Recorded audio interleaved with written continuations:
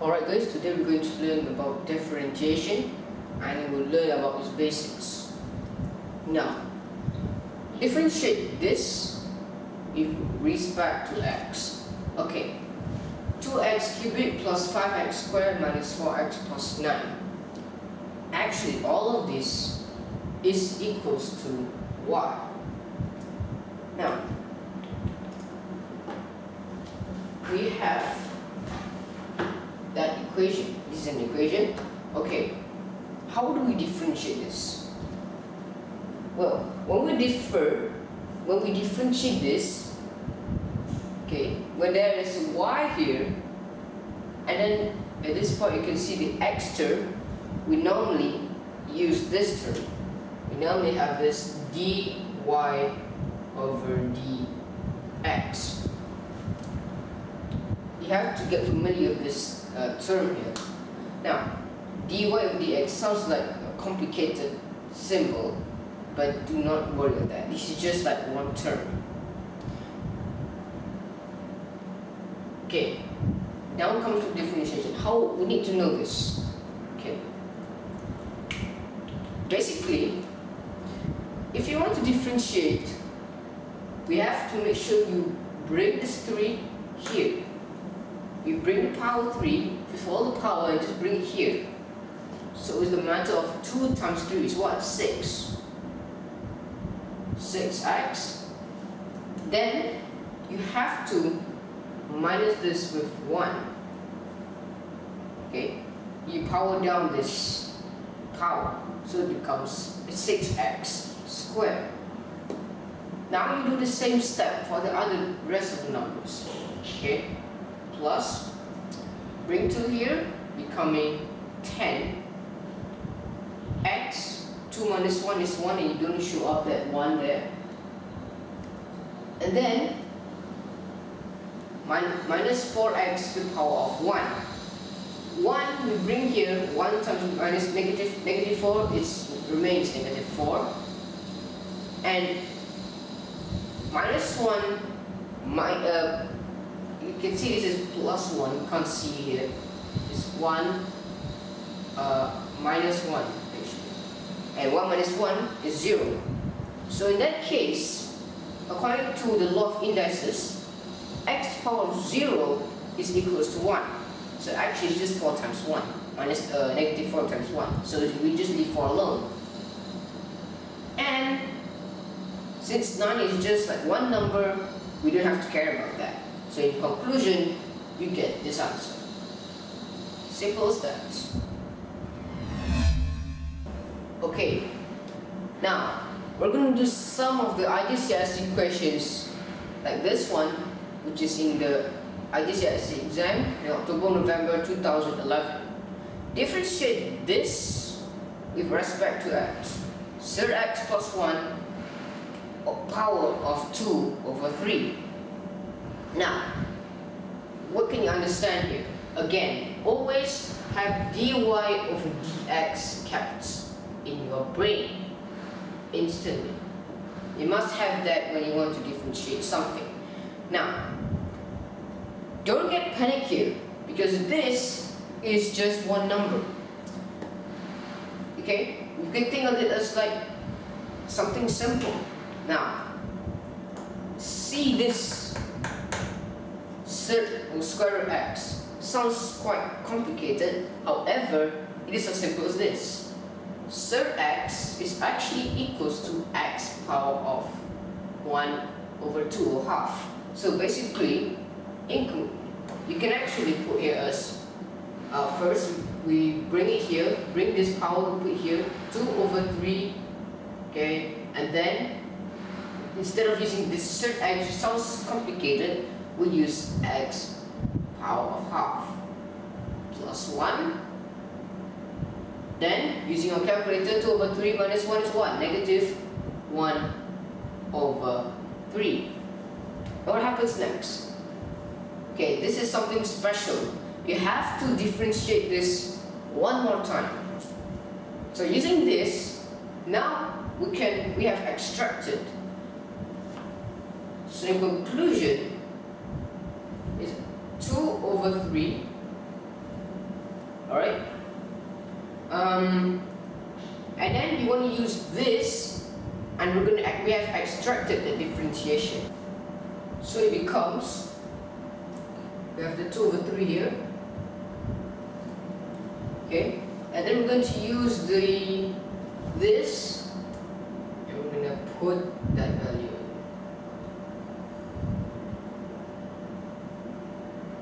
Extracted this small this kind of differentiation, small differentiation if we've extracted it, then we put this. It still remains the same, or if we just extract another differentiation. Just copy this down. It sounds complicated, but this is the answer.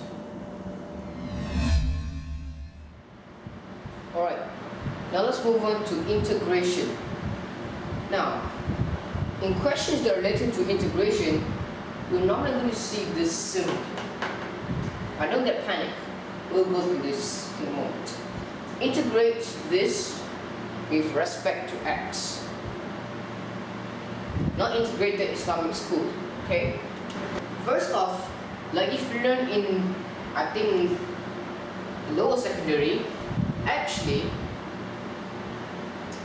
you have to expand this because this is rule number rule number two in the special rules. Now, what happens here? Okay, now this is where you're going to put the laws. Okay, laws, where you must actually understand now. In differentiation, you have to power down this power. However, when it comes to integration, you're going to power up this. What I meant is plus 1. Simple as that.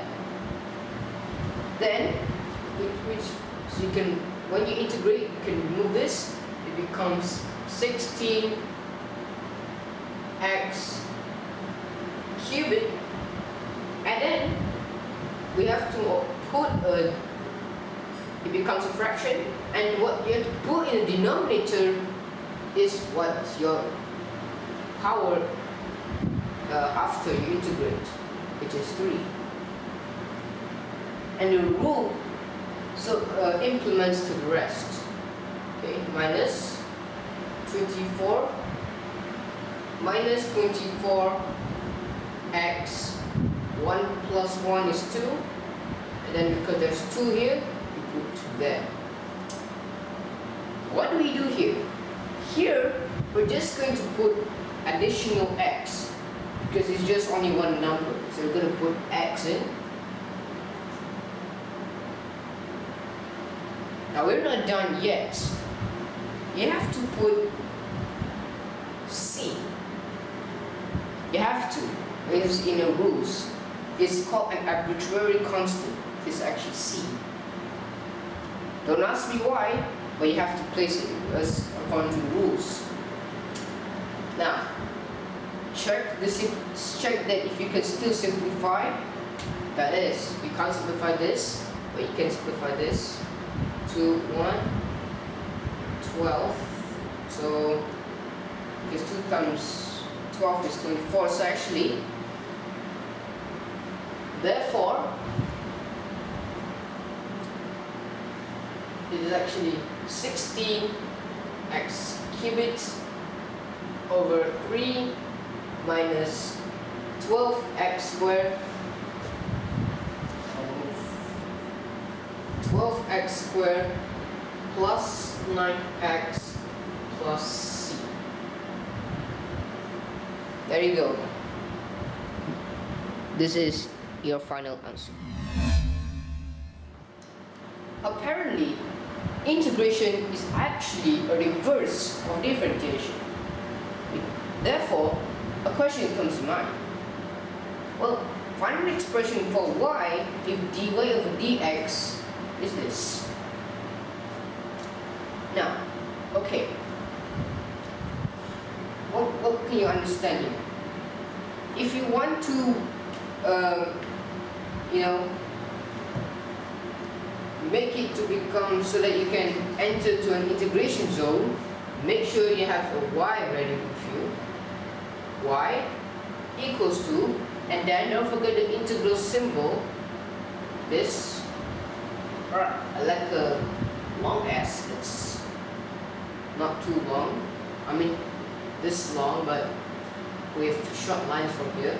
And then um, we just plug in this.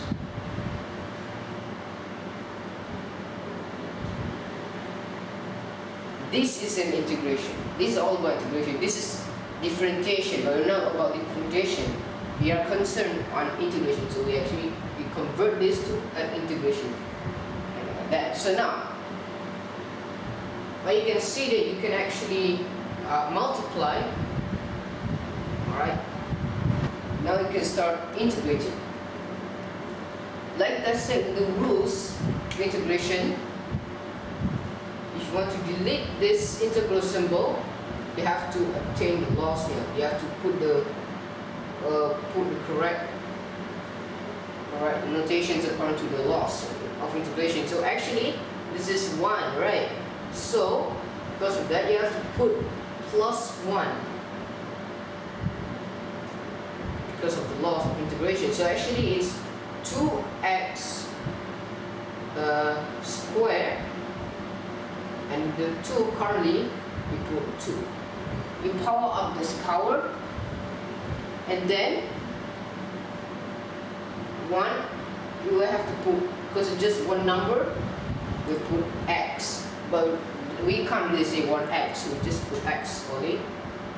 And then with the arbitrary constant c, you have to put c. Some people may get careless of this and they lose marks. Therefore, with a final answer, can cancel this up and therefore therefore y equals to x squared plus x plus alright so that's all about the different this is all about um, um, all about the basics of differentiation of integration. I hope you can get an idea on this on the basics. Um, well thank you guys for attention and I'll see you guys next time for another video